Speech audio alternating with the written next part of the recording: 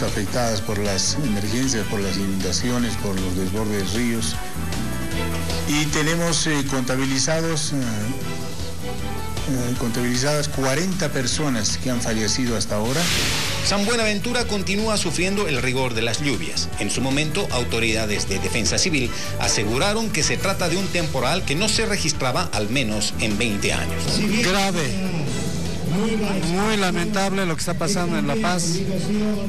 Los últimos deportes de Palos Blancos, de Alto Beni, son uh, muy dramáticas en todo el departamento, especialmente en los Yungas, la Amazonía. En el norte de La Paz estamos en delicada situación. Rurrena, Baque y San Buenaventura son poblaciones aledañas, una en el Beni y la otra en La Paz. Ambas registraron bastantes daños y afectaciones. En lo que se refiere a La Paz, la ayuda continuará. Eh, como lo habíamos anunciado, el precio de la carne roja está en su nivel normal como la Confederación de Ganaderos de Bolivia y el, y el gobierno lo había anunciado, esto no ha subido.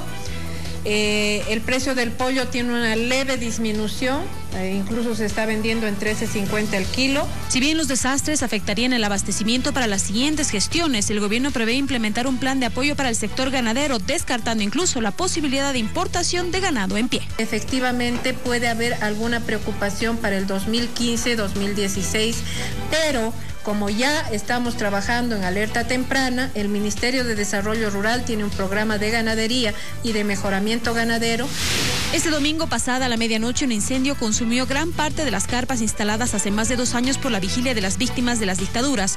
Cuatro personas se encontraban al interior y fueron rescatadas con heridas menores. Sin embargo, los daños materiales son de consideración. Hay daños de consideración. Ahí están viendo tres computadoras. Tenemos la documentación que, que son expedientes de, los, de, de las víctimas y también tenemos todo lo que teníamos, de víveres, frazadas, todo nos han quemado. Los afectados denunciaron el hecho a la policía. Presumen se trata de un incendio provocado con gasolina que habría empezado en el techo de la carpa central.